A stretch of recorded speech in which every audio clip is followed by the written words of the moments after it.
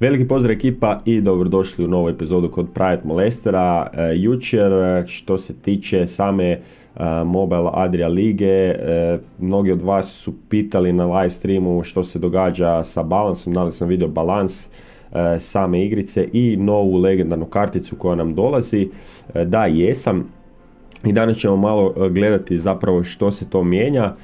U News Royale to i sami znate da možete pogledati, evo balans dolazi sutra, ne znam u koje vrijeme i gore možemo vidjeti upravo karticu koja nam dolazi, to je taj jedan magični Wizard, odnosno Archer, i između Wizarda i Archera ima ovu obleku sa ovom strijelom, Biće zanimljivo vidjeti kako će zapravo sve to izgledati, ali da ne duljimo dalje, mi zapravo možemo vidjeti njegovu facu ovdje, kao što možete vidjeti, evo ovdje ima neku bijelu kosicu, opake okice sa nekim dosta velike ovaj, obrve ima komoda ovak. Ali ne znam što vi mislite zašto Supercell ubacio toliko legendarnih kartica, dosta sam čitao i komentare, imaće, kaže, neko je napisao da ima više legendarnih kartica nego common kartica, e, neko se zezao, sprdao se sa Supercellom, tako da nisam ni sam siguran zašto stalno legendarne kartice, ali dobro, neka e, nama dobro dođe i nova legendarna kartica, ali e, kako će ona biti, vjerujem da će biti challenge, to sam siguran da će biti challenge, vjerojatno 12 pobjeda i onda da osvojite, tako da nadam se da ćemo i tu karticu osvojiti. A kako će ovaj ona funkcionirati, to ćemo još tek vidjeti ali idemo se prebaciti onda uh, na ovaj balance update koji dolazi sutra, ne znam sad točno vrijeme, nekad su znali to staviti dosta rano ujutro, oko 10, 9-10 sati, u zadnje vrijeme Supercell dosta i kasni sa nekim stvarima, ali jedna stvar što se tiče ovog balansa, barem po meni jest da je brzo jako došao nakon zadnjeg, ne mogu se sad sjetiti koji je datum bio, sigurno znate, pogledat ćete, ali čak nije ni bitno, ali jako je brzo, jako brzo je došao balans, e, change i to što se promijenilo se trebalo promijeniti već u prošlom, ali jednostavno Mislim da nisu uzeli sve u obzir. Jučer smo isto na live streamu, odnosno prekjučer komentirali. netko me je pitao na live streamu što mislimo o Mega Knightu, da li treba nerf.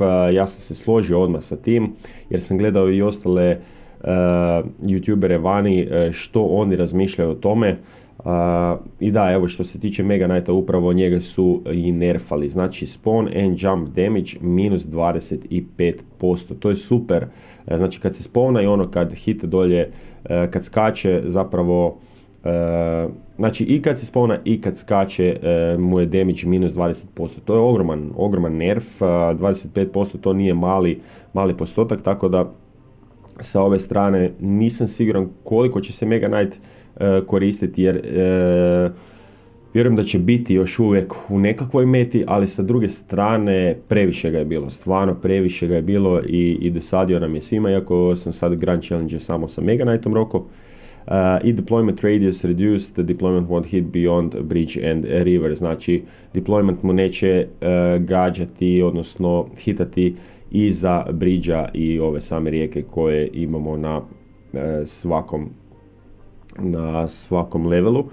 E, tako da što se tiče Mega Knighta savršen, e, savršen nerf, a budemo vidjeli evo kao što sam rekao koliko će se on koristiti.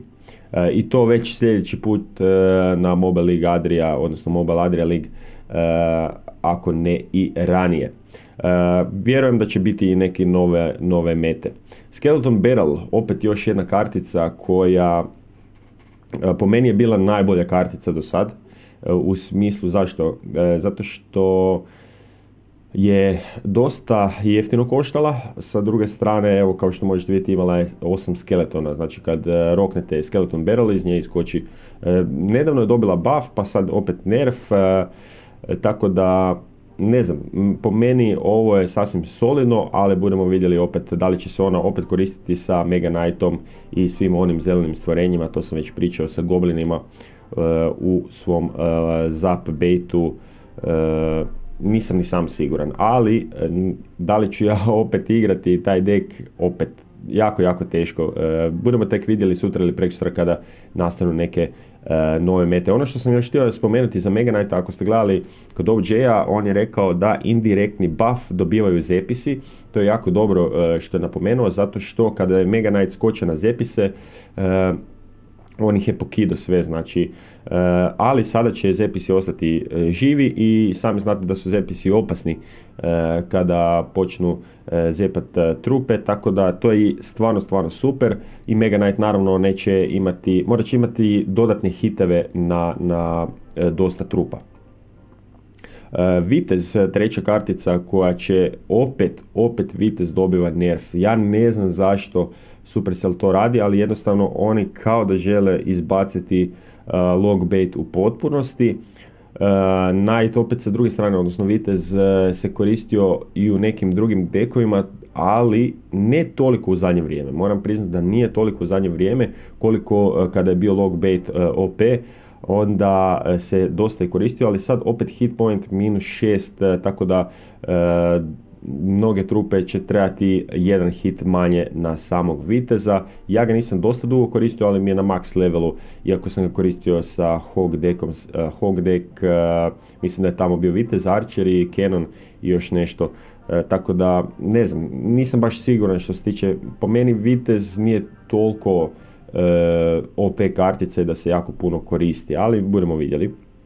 Inferno Dragon uh, switches between targets slower. Znači, Inferno Dragon će uh, svoju vatricu uh, usmjeravati prema uh, svome cilju ili trupama um, sporije. Sad, da li je to znatno sporije ili ne, to ćemo vidjeti, jer to je bio buff od Inferno Dragona, a sada je to nerf. Znači, malo će vjerojatno i usporiti taj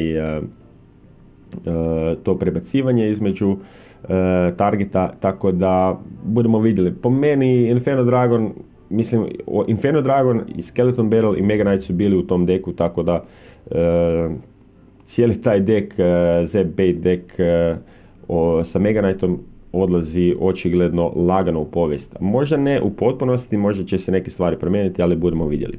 Jedna kartica koja, evo, po meni najbolji buff dobiva ovdje, i jako dugo smo čekali taj buff, nedavno smo pričali o tome, je upravo Valkira, hit speed uh, eh, 1,5 sekunda na 1,4, znači brže će se vrtit, odnosno ne da će se brže vrtit, ali brže će hitat za 0,1 sekundu. Uh, i kao što je OJ rekao da će joj se uh, više vrtit u glavi, jer što brže ovaj udara, više se i vrti naravno, ali po meni sasvim super buff za Valkiru, jer kartica koja nije se toliko puno koristila u zadnje vrijeme, moram priznat, iznad 5000 e, trofeja jako rijetko da se viđa. Sad nisam siguran e, dolje, jer smo svi igrali e, prije sa Mask, kako se zvao taj dek, već sam i zaboravio, Musketeer, bio je Mušketirka, Valkira i Hog su bili u tom deku nešto tri, nešto. Ne mogu se sjetiti, ali evo Valkira, e, super, super buff.